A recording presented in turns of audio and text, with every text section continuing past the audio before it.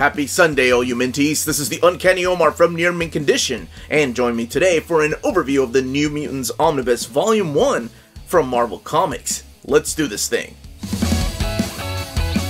Now, before we get started, a huge thank you to David Gabriel and the folks at Marvel for sending us a copy of this omnibus. And this omnibus has been out for a, about a week or so now, and what was interesting is that the direct market cover came out first through Diamond, and then this standard edition cover. So, this is the standard edition cover, and then over here to your left, this is the Bob McLeod direct market cover, and only available through the direct market, whereas the standard edition is both available through the direct market and the book market.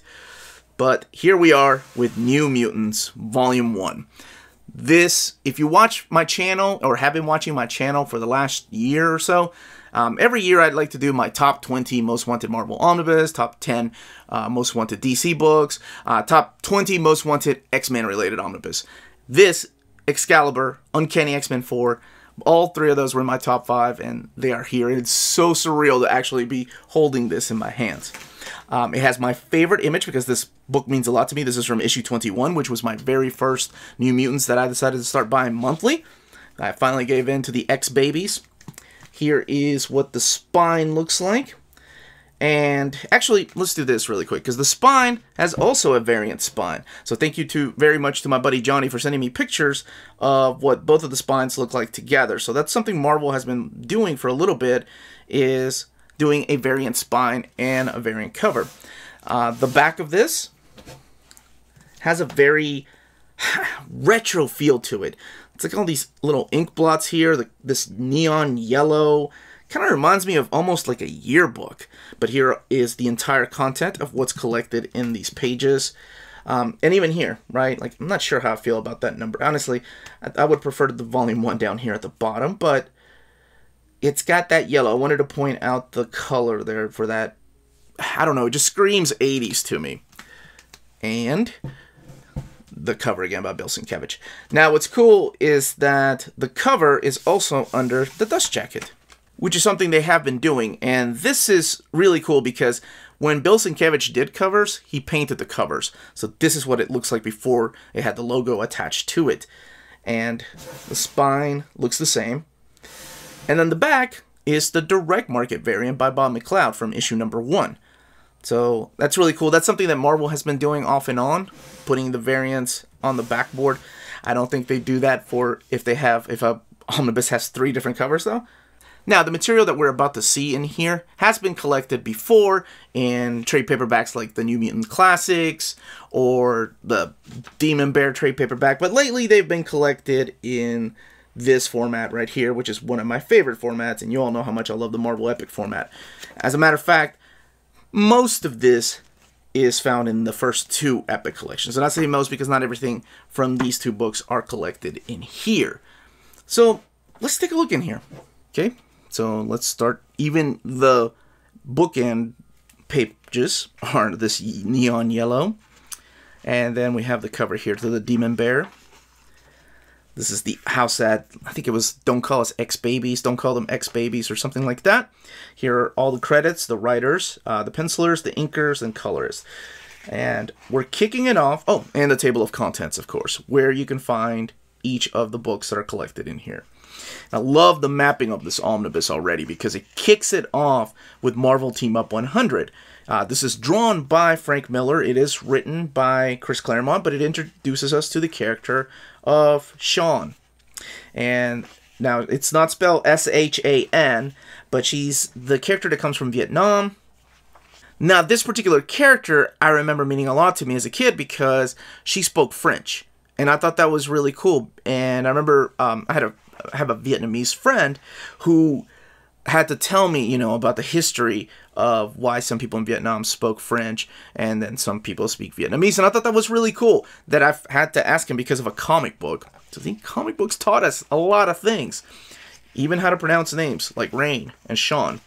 Um, and then we kick off with issue 160. That's the second issue found in here of Uncanny X-Men. And this is, of course, this is a little bit of spoilers, where a young Illyana is transformed into a teenage Illyana when she comes back. And Illyana is the character of Magic, who doesn't join the New Mutants at first, but will join the New Mutants later on. I think it's like issue 12, 16. And here is where everything really begins, and that is New Mutants graphic novel, the Marvel graphic novel line, issue, uh, volume number four, and introduces us to this new team. We have Moira MacTaggert with her ward, Rahne, Wolfsbane. Uh, we have Roberto da Costa right here, who will become Sunspot. We have Sam Guthrie, represent Kentucky, even though the dude's working in a coal mine, but that's okay. Uh, who will become Cannonball. And then we have Danielle Moonstar, who will become Mirage. And then we've already been introduced to the character of Xi'an, who Professor X, with the help of Moira, is trying to figure out exactly.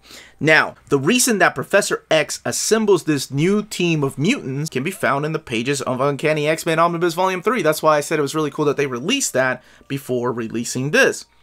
And that's because Professor X thought his entire team of X-Men were dead. They were up in space, lost, never to be found again. So he had to train a whole new team. He had to train these kids to become his future X-Men. They even have the yellow and blue or yellow and black colors that the original team had. And that's pretty much the story of the New Mutants. I never, you know, that, that title never really grew on me. I, I never liked the title New Mutants. I get why they did it, but I wish they had done something cool like X Kids or X Babies. Anyway, I thought that was cool back then. We also have issue 167 here, which is the first meeting of the X Men with the New Mutants because the New Mutants have been hanging out at their X Mansion while they've been up in space. They have no idea who these kids are. So they come in here. This is drawn by the phenomenal Paul Smith. And they start fighting these new characters. And of course, the New Mutants thinking the X Men are dead or thinking they're fighting doppelgangers or the Brood. And there's a twist at the end with Professor X. I will let you find out. Stevie Hunter plays a big role in uh, the New Mutants towards the beginning. She's one of those supporting cast members from the pages of Uncanny X Men that go back and forth between Uncanny and New Mutants. And then, literally, the first few issues are just about the kids getting to know each other because they don't know. Like, everybody looks so different to them. Not only are they mutants, but they all come from different parts of the world. And I thought that was really cool because you have to introduce the reader and the characters to these new characters, new powers that they're not used to, and then other people's powers, and then also they come from different ethnic backgrounds. So that's damn, that is Chris Claremont way ahead of the game. I love this stuff. Uh, we're introduced to the character of Amara here in this particular story, who will become Magma. And yes, she will end up joining the New Mutants. And this is, okay, cool. This is where they put the Magic miniseries. So this is the Storm and Illyana Magic 4-issue miniseries, which is what happens when she's down there with Belasco in Limbo. How exactly does she grow? We're introduced to other characters like Hellcat. Uh, but that's not important. The important thing is that she is growing into teenagehood. So, what does this volume collect? Because there are issues of Uncanny X-Men in here too. And like I said, that's important because the character of Kate Pryde, Kitty, sometimes goes back and forth. Sometimes she gets kicked off of the X-Men to go and hang out with the New Mutants. So, this particular omnibus collects the Marvel graphic novel volume 4 or issue 4 which kicks off New Mutants. Uh, it has New Mutants 1 through 34 annual number 1 Marvel Team Up 100 and 149 and now it's only 100 the A story not the B story. Uh, the Marvel Team Up annual number 6 Uncanny X-Men 160, 167, 180, 189 and 192, and the four issue Magic miniseries. Now, that may seem like a lot of double dipping to some people, but I think it's really essential to read them together because not everybody gets everything, right? Un- unlike some of us, that I have to have every X title in omnibus format. But not everybody gets the same things. Not everybody's going to get all the Uncanny X Men. Maybe they're just into New Mutants, and vice versa. So, had those issues like 180 and 189 and, and 192 during the Secret War stuff had been left out, it's just it, it, I don't I think I would have been more upset. Now, uh it the beginning artwork is all done by Bob McLeod, it's done by Brent Anderson, and then uh Steve Le oh what was his name? Steve Lehola Le, Lehola. Uh, I can never remember how to pronounce it. Now, in issue 17 we get a brand new cover of the new ongoing artist. I think this is the one with Jets. Yeah, uh, the, we're introduced to, uh, I forgot, Emma Frost and her Hellions, which is kind of like the Hellfire Club's answer to the New Mutants. And here we have the Bill Sienkiewicz cover, because I remember uh, when this came out, I was thinking, oh, that's a cool cover. but I still didn't get it. It wasn't until issue 21. And then we get Bill Sienkiewicz kicking off the storyline of the Demon Bear saga. With this dark, twisted future with Rachel, seeing how Professor X gets killed in her alternate reality. And see, this is what I mean. Like, characters would appear in New Mutants, and then they would appear and have bigger roles in Uncanny X Men. So, to find out what happens to Rachel, you have to read that one issue in the 180s. But it's so dark and twisted. It was so different. Not that New Mutants was lighthearted to begin with, because there's a lot of things. But then we also had issues like with Team America, the motorcycle club people. To go from that to this was like night and day. The Demon Bear Saga, which is what the movie's based on, loosely based on, is probably one of the greatest, if not to ev- to everyone else, the greatest New Mutant storyline. And it's all collected in here in omnibus format for the first time. It's wonderful and amazing if you've not read it, but we have to go back to this because this issue 21 is my first issue. This is the big double-sized issue that we we, we see Warlock appear earlier, self-friend Warlock, that guy. He appeared earlier in issue 18 with little uh, cameos, but this is where he makes his full appearance. I forgot they used to have a huge fascination with Magnum PI. They thought everybody thought he was such a heartthrob. Times are so different now. And Michael Jackson, the girls had a sleepover during this story arc. Oh, I love this story. This is less adventures with a little bit of a horror twist, and then more about getting to know the characters, and that's what this particular issue means to me. And like I said, it was my first issue of buying it monthly, so it it will forever have a special place in my heart. Now there are a couple of other characters I didn't talk about, like um, Tom Corsi or the nurse uh, Sharon Friedlander, but I'll leave you to be surprised what happens to them within the stories. But there is another character um, that does join the team besides Magic and Magma, and that is Doug Ramsey, who will end up being called Cypher. He's his power is that of he can speak any language or read any language, and that's why him and Warlock immediate that wasn't even Warlock immediately become best friends. And we have actually all of Bill Sienkiewicz's artwork is collected within this run here.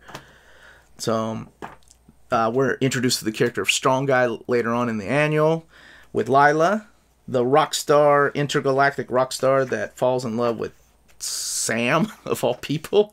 But hey, whatever. And oh, this story arc right here with Xi'an, where she comes back and she doesn't look the same, that leads directly into oh, I can't wait to have this in uh, if there's a volume two of this, that leads directly into the special um, special issue number one. I think it's New Mutant Special number one with artwork by Arthur Adams, and that's all part of the Asgardian Wars. Now let's look back here for some extras. So of course, censoring that final page of issue 34 to show you all. This is the Amazing Heroes um, stuff. I haven't seen some of this stuff before, like the original costume designs for Sunspot or Xi'an. Apparently, they were going to have their own individual type of costumes, or they were originally going to call Cannonball Holocaust. Pretty interesting. Eventually, we did get a uh, character named Holocaust in what was uh, Age of Apocalypse. Yeah, don't call them X babies anymore. And by Bill Sienkiewicz, this is where he comes in. This is an original. I've, i remember reading about this. This is an original cover that Bill Sienkiewicz. Remember when I said he painted all his covers? That he painted, but it got lost in the mail, and eventually it turned up, and they released it later on. and I think it was in a magazine, but here it is collected fully. Here's the handbook guide to the Marvel Universe, the layout pages of that first issue by Bob uh, Bob McLeod. Oh, and the introduction of other characters. That's cool. And then some artwork here from Bill Sienkiewicz, original pages. And then the painted stuff. I'm so glad they kept this on here. Man, I didn't even talk about the fairy tale issue. Ah, that issue's so beautiful. Well, I may go back to that one to show what the binding looks like. That that issue is beautifully painted and drawn. Uh, this are the archives which introduce us to Legion. It's just reprinting issues. What's it, 26 through 29? And so we do have the first appearance of Legion, David Haller, who is related to somebody in the X Mansion. He is the son of a character. But I'm pretty sure most of you all know and I'm uh, not gonna say a word.